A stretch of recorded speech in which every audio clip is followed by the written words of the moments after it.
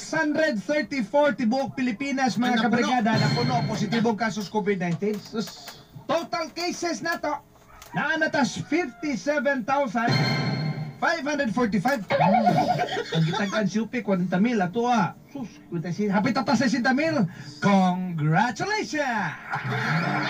Congratulations. Proud kay gustong nasod. Ang aktibong kaso Pilipinas, top notcher. Ah, top top notcher kagahapon adlaw. Bakit to car? Ano lang ka sa kuan ka ng na tabi ka na Arnel ka ng uh, top 5. Ano diyam Oh. kang tingong? Di, nag-chat si attorney Cheryl Grace Fortuna. Oh. Nag-mention ko ninyo. Oh, gimin. Walay, Oh. walay, walay. Kami dre. Torne nang inabuhay rin kami dre. Oh, yeah. abi, Yeah, bensa mo na. ah, sa tabi sa Yeah. yeah. daw. Eh, yeah, be, be, be. Oh. Ano man? 5,000. Makailista ka naman sige pangutana na to. Tara, tara, tara, tara. Kinatibok ang nasod mga kabrigada ni Ana. Di makag di makagsolsa na. This ko re- reliable kini ako source. Oh, di man na. Oh, mao ni pinakanindot nga page Brigada Arnel. Itong mga detalye sa Okay. mga ka mga balita. Okay mga kabrigada, congratulations!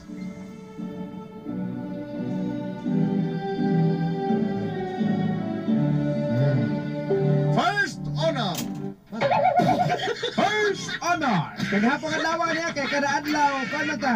Lain-lain man ta og uh, announcement. Lain tag mga top. Naman eh, ta- top of the day. National, Artes